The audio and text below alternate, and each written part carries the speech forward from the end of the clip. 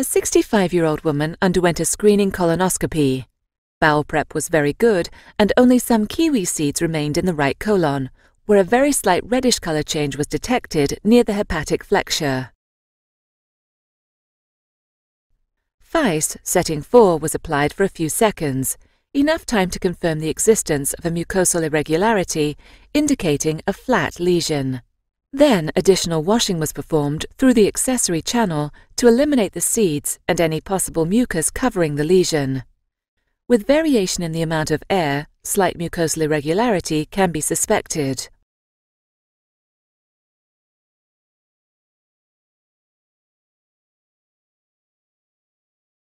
Moreover, when FICE was applied, a flat, slightly elevated lesion could be recognized.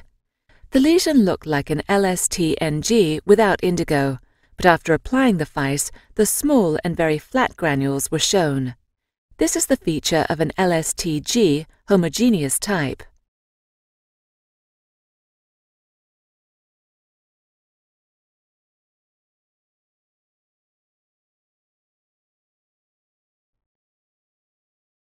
Sufficient saline was injected initially on the oral margin of the lesion. A good elevation was achieved.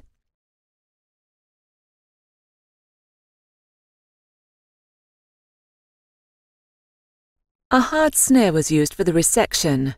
Despite creating an adequate bleb at the beginning, it soon became somewhat flattened.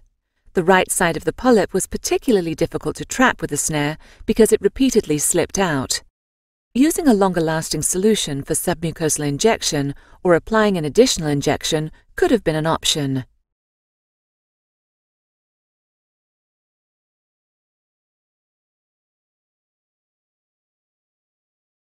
EMR was completed by applying suction while closing the snare. However, on close inspection, a small remnant area was observed. This was removed later with biopsy forceps.